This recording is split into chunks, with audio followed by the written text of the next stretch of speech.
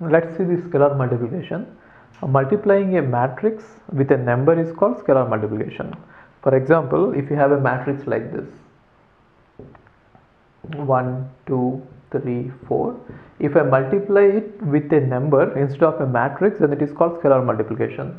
So let's say i'm multiplying with 2 then what do i get so you have to take you have to take each uh, element in the matrix and then you have to multiply with the uh, number 2 then what do we get here? 2 4 6 8 got it?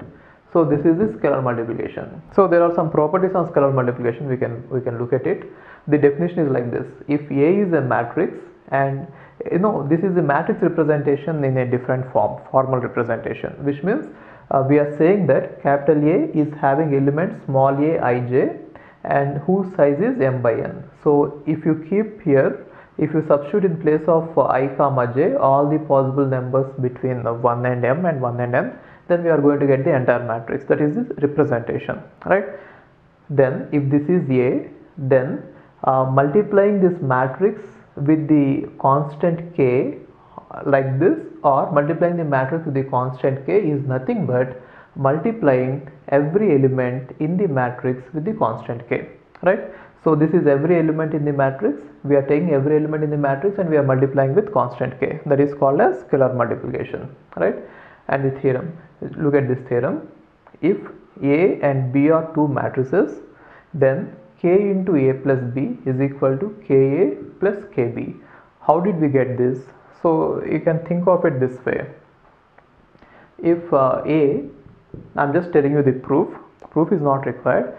In case you are interested you can watch it. Okay? I'll just quickly finish it. See if a is the matrix and matrix is going to be represented this way right? So small a means each element of the matrix. A is the matrix and small a means capital A is the matrix itself and small a means each element of the matrix right? And now uh, if i write a plus b similarly we can think of b also like this formal representation. So small b means each element of the uh, matrix b right? Then what do you think about a plus b?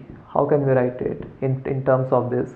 It, adding a, a and b is nothing but adding the corresponding elements isn't it? Therefore a i j it can be represented like this a plus b right?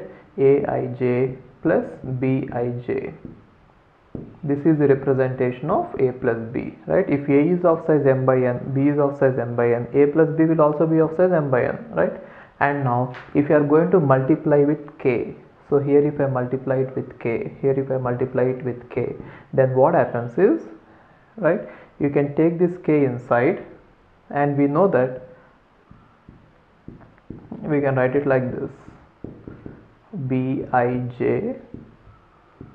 right? M by n. Then what is this entire number going to be? You can distribute k because uh, it is scalar multiplication is distributive right? So then what do we get? K into aij plus k into bij right? Now we can again write it like this.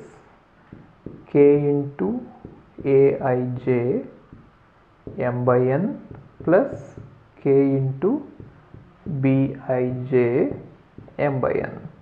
So what is this? It is nothing but uh, every element of capital A the array the matrix capital A being multiplied with k. Here also it is every element of capital B being multiplied with k. Therefore it is ka plus kb so finally we get ka plus kb got it? So that is that is uh, that is one way to prove it right? Similarly we can prove all of them uh, like the same you know using the same arguments. Now p plus q into a. P and q are two uh, scalars and a is a matrix. Then p plus q into a equal to pa plus qa similarly we can do the same here. P into q equal to pq into a. Then minus 1 so same everything is same right? So you can prove them anyway. So these are some of the results and uh, theorems which are in this scalar multiplication okay fine